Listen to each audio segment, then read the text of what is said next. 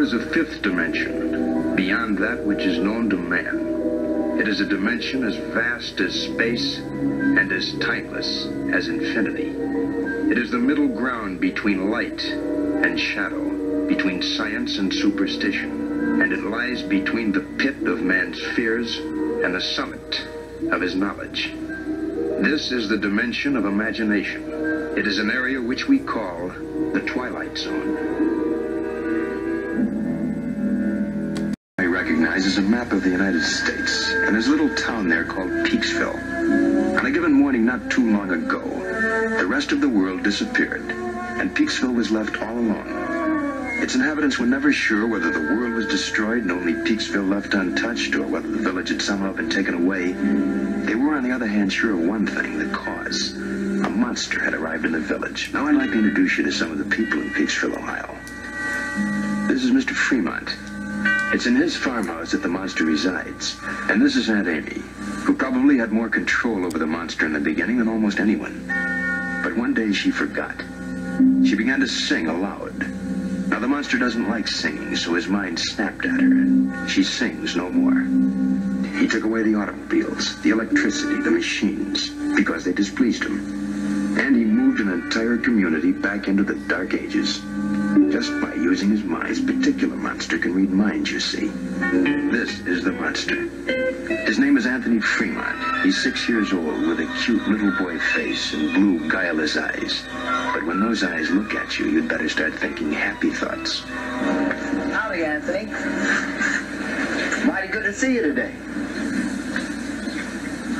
What are you doing, Anthony? I made a gopher with three heads.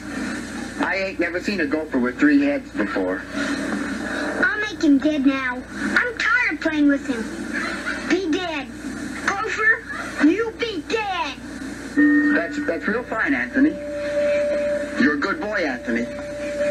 We all love you. Howdy, Miss Fremont. Howdy, Bill. And Anthony just loves tomato soup, don't he? So, so I brought that.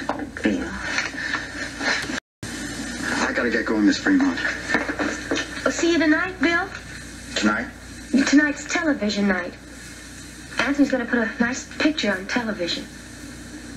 And we're going to have the surprise party for Dan Hollis. A real nice surprise party.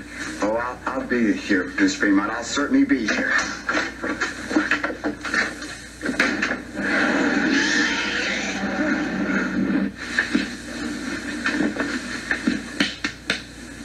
That's all the television. Oh, it was wonderful, Anthony.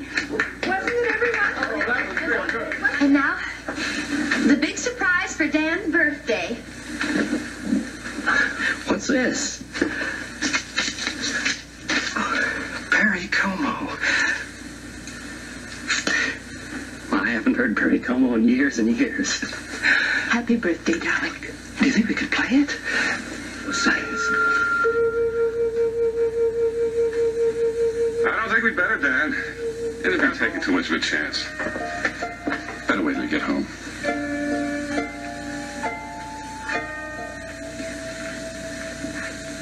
Uh, and now it's time for Pat Roddy to play the piano. Uh,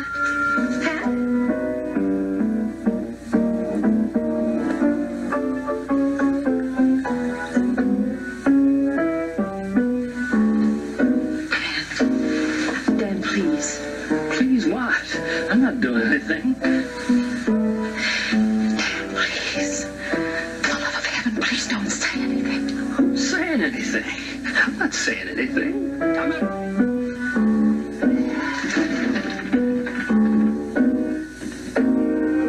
Nuts.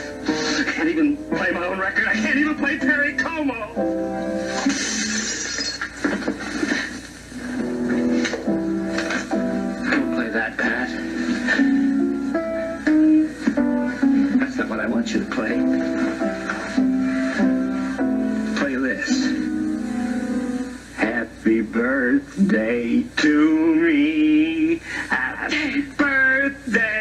Stop! Happy, birthday to me.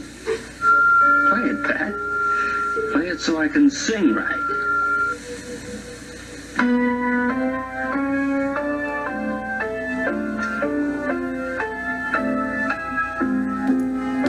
You and her. You had him. Monster, you. You dirty little monster you think about me. And maybe some man in this room. Somebody who's so sick to death of living in this kind of place and willing to take a chance. Sneak up behind you and lay something heavy across your skull. And end this once and for all. You're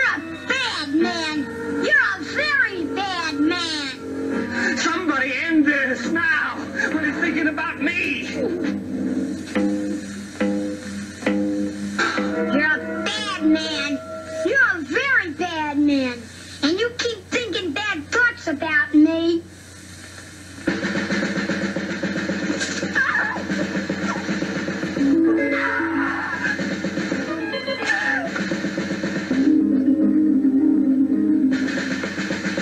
Wish it into the cornfield. Please, son, wish it into the cornfield, please. He was a bad man. So I turned him into a jack-in-the-box. And you mustn't think bad thoughts about me either, or I'll do the same thing to you. No comment here. No comment at all. We only wanted to introduce you to one of our very special citizens, little Anthony Fremont, age six, who lives in a village called Peaksville, in a place that used to be Ohio. And if by some strange chance you should run across him, you had best think only good thoughts. Anything less than that is handled at your own risk. Because if you do meet Anthony, you can be sure of one thing. You have entered the Twilight Zone.